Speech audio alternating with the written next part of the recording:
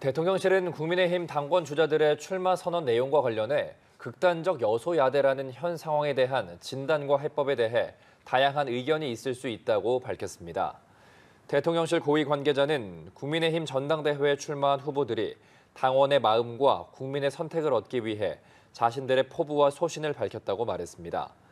이어 대통령실은 전당대회 결과로 나타나는 당원과 국민의 명령에 충실히 따를 것이라고 덧붙였습니다.